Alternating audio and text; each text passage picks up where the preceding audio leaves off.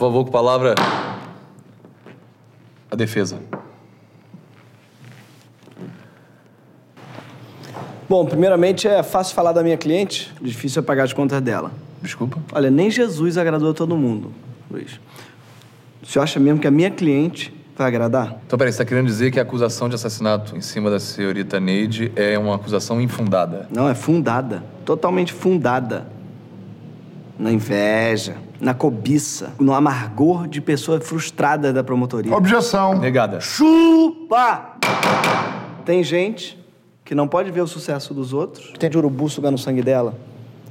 O que tem de gente agorando no ouvido dela, que a orelha dela tá quente à noite, ela não sabe por quê, foi ver o médico e falou que era o quê? Mal olhado. Nós temos atestado dizendo isso. Aí você vem me dizer assim que ela não está sendo vítima de perseguição? Com relatos médicos? Vários atestando isso? É o que eu sempre digo pra ela.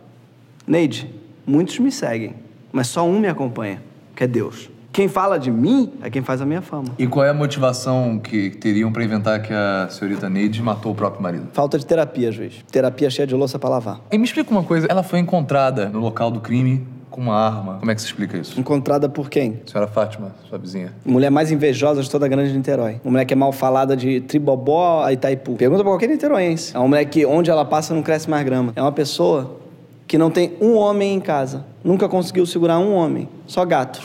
Objeção, meritíssimo. Consentida. Meritíssimo, o fato da testemunha não ter homem em casa não pode ser um argumento usado num júri sério. Ela tem homem em casa? Não, não tem homem em casa. Por que, que não pode usar se ela não tem? Tá querendo falar o que da minha cliente?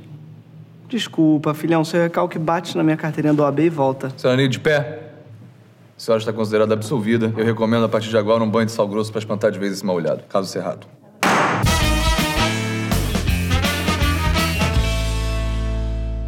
Obrigado a todos. Agora o senhor me lembrou de uma música que eu gosto muito. Que é... O que o coração não vê, a mente não toca, não toca. O que o coração tá cansado de ser, desbota.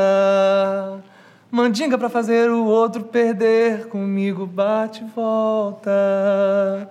Comigo bate e quebra. Quem dará, quem me dera. Quem fará ela inteira dançar. 1997. Obrigado.